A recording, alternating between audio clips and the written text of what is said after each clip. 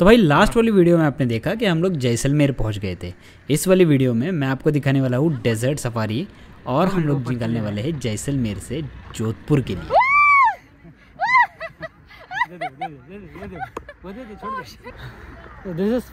तो भाई ये कैमल राइड वाला जो पार्ट है ना वो काफ़ी मज़ा आया। और शाम के टाइम पे डेजर्ट बहुत ही ज़्यादा बहुत ज़्यादा ब्यूटीफुल लगता है।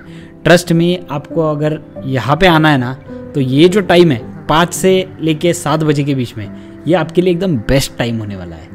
बहुत ही ज़्यादा सीरीन और बहुत ही ज़्यादा मस्त लगता है सनसेट यहाँ से।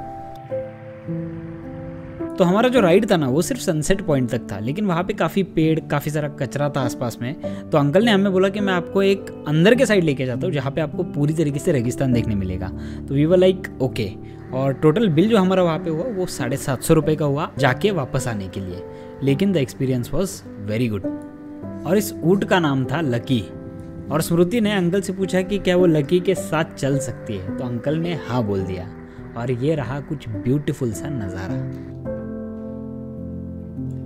काफ़ी अच्छा एक्सपीरियंस रहा हमारा यहाँ पे वी रियली लव्ड इट और इंस्टा 360 यूज़ करने में काफ़ी, और भाई हम लोगों ने फ़ोटोज़ भी काफ़ी सारे खींचे।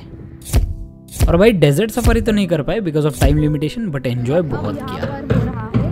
स्वागत सेरेमनी और एक छोटे से स्वागत सेरेमनी के बाद होटल के शाम वाले जो प्रोग्राम्स होते हैं ना, वो शुरू हो गए।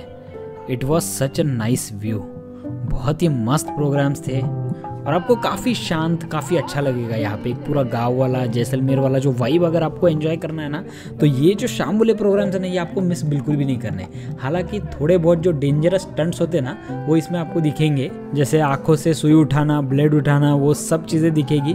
But then you know this is a talent तो वो लोग काफ़ी अच्छी तरीके से इसे मैनेज कर लेते हैं। It was a beautiful night तो ये मालरा हेरिटेज वाला जो प्रोग्राम था ना, ये इवनिंग वाला, ये काफ़ी यूनिक था, काफ़ी अच्छा हम लोगों को यहाँ पे फील हुआ अच्छा एक्सपीरियंस था हमारा यहाँ पे। और बाद में शुरू हुआ डांस वाला सेशन तो भाई डांस वाले सेशन में काफ़ी मज़ा आया।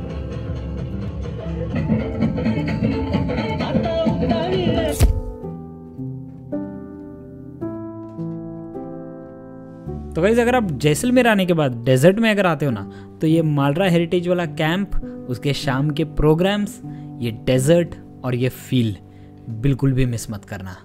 It's a lifetime memory trust में और इसी के साथ ख़त्म हुई हमारे यहाँ पे जैसलमेर में हसीन शाम।